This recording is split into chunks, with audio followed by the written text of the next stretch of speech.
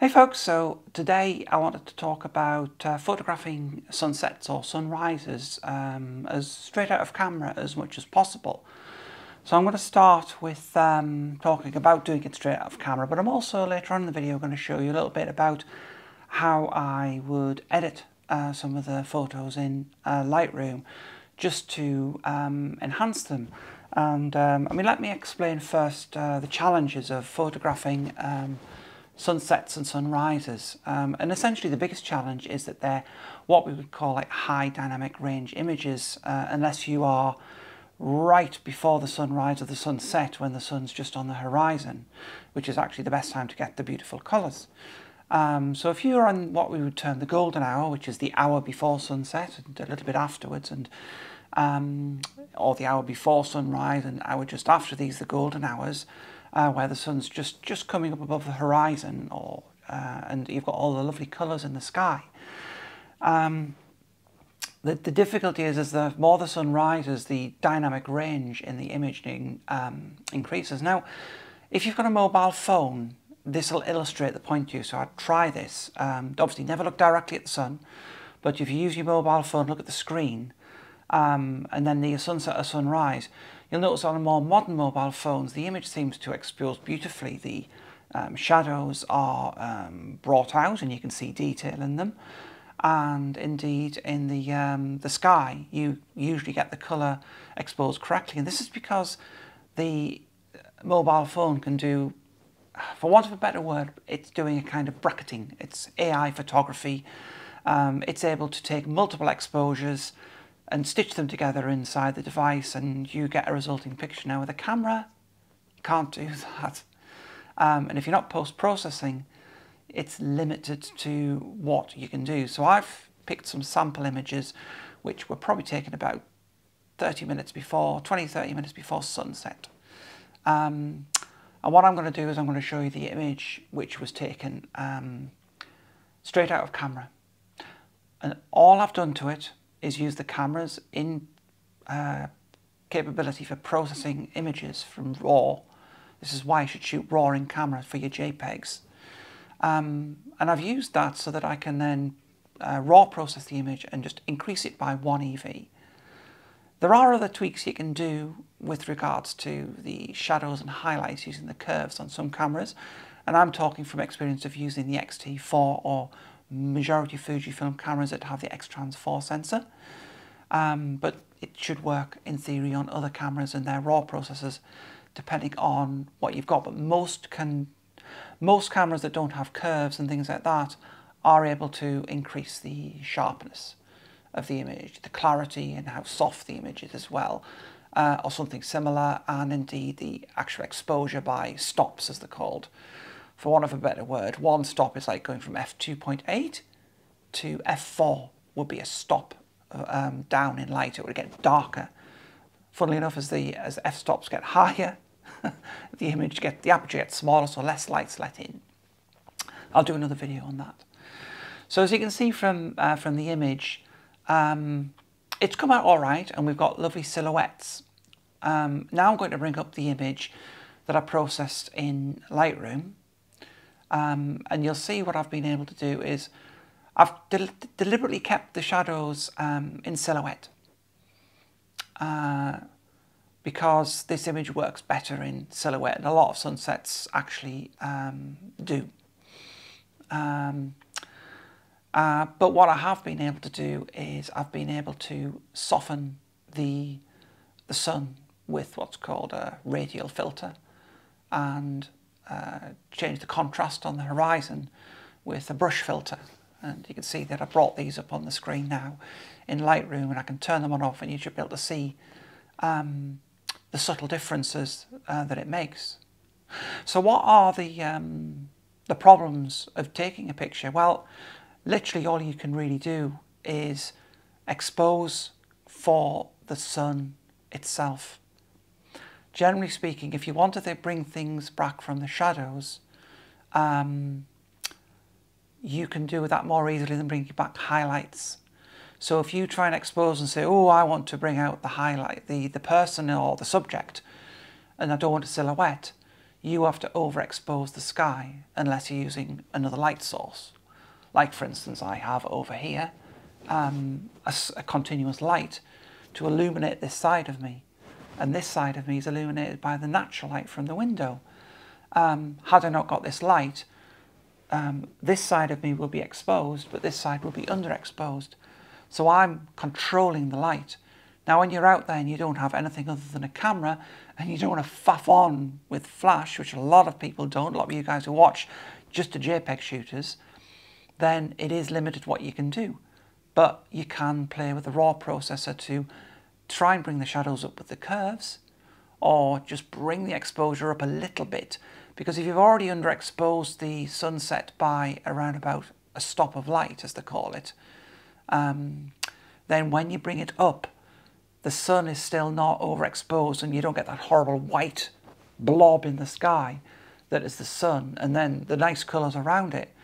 But what you're aiming to do with a sunset is slightly underexpose it or a sunrise so that if you need to increase the um, exposure after you've taken the picture, um, to tweak it in camera, uh, you've got that flexibility.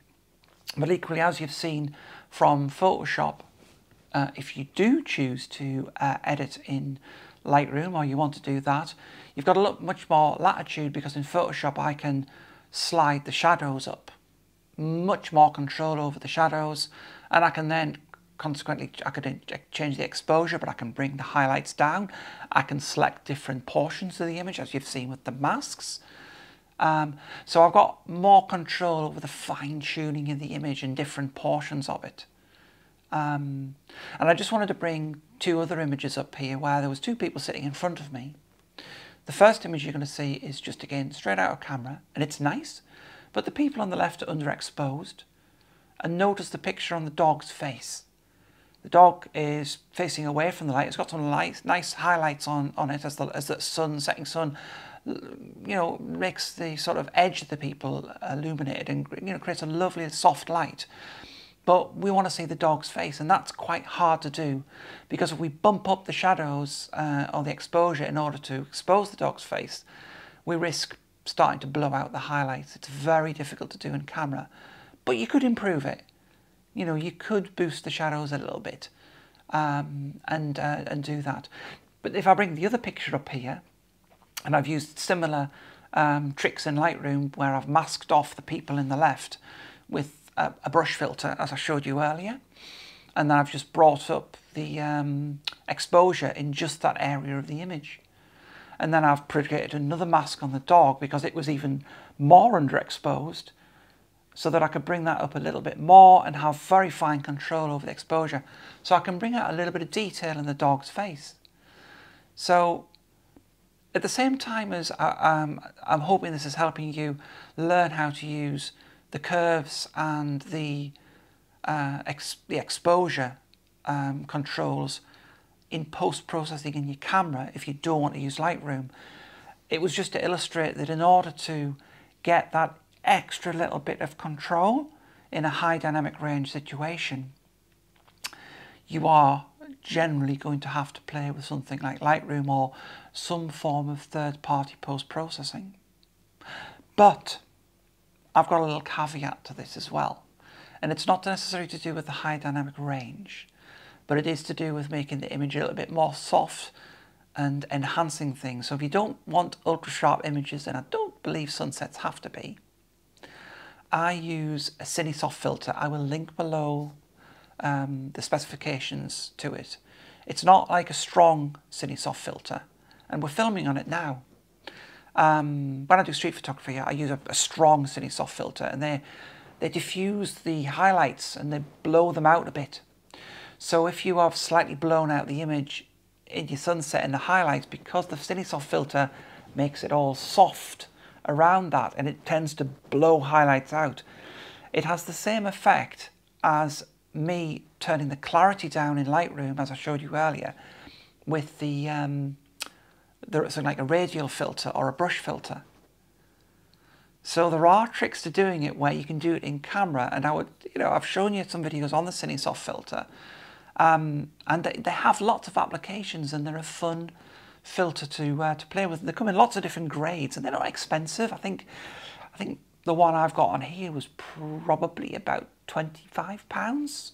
I don't know what it is now. I bought it a while ago, and I know stuff's going up in cost, but this is a lot cheaper than a subscription to to Lightroom.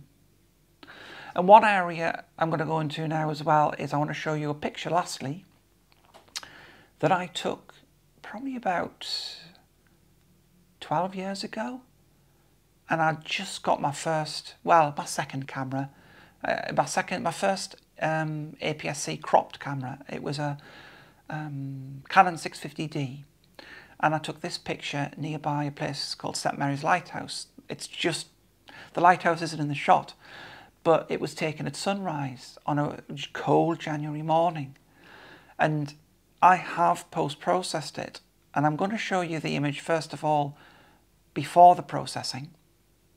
Um, and you'll see that it's not as saturated and the rocks, which are the foreground subject, which are very important to making up the image, just as important as the clouds, are not as well defined. And now when I bring up the processed image, you'll see the difference you can make in post-processing.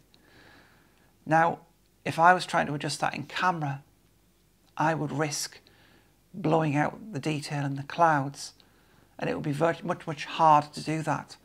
Changing it in curves in the camera gives you a little bit more control.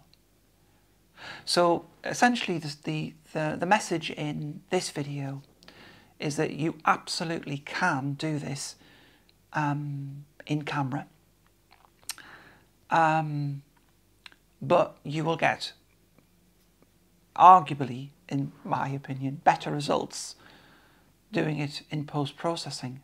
However, I think if you're using like a CineSoft filter, you will get certainly more creative results. So whether you want to do it in Lightroom or mess around with the filter and in-camera controls, which is a lot easier and quicker, um, I would leave that up to you. But the idea of this video is to show you that you can do it in both in camera and get some beautiful sunsets and kind of get similar to what um, a mobile phone can do. Um, or you can do it in post-processing in Lightroom or something similar and have a real play around with it.